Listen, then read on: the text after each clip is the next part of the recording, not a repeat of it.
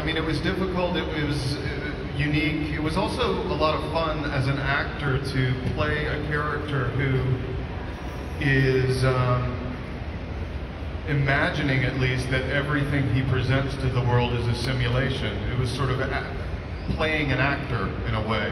Um, he was dedicated to creating an authentic portrayal of a regular person, as we as actors are.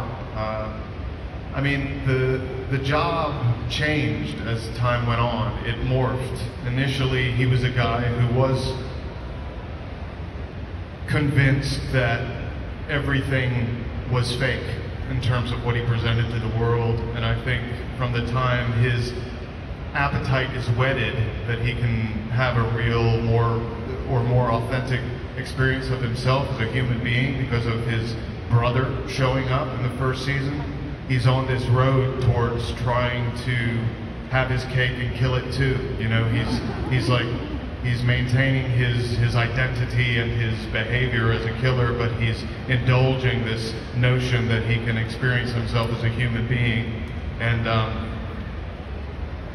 it's a real mess, you know. but but I think yeah, I think early on the the approach was was um, you know as I as I prepared, like I would read books by FBI profilers and imagine reading them as Dexter, um, given that Dexter would probably look at such a book and try to avoid presenting himself in any way that fit the bill, you know, and his desire to not um, inspire any suspicion, if that makes sense.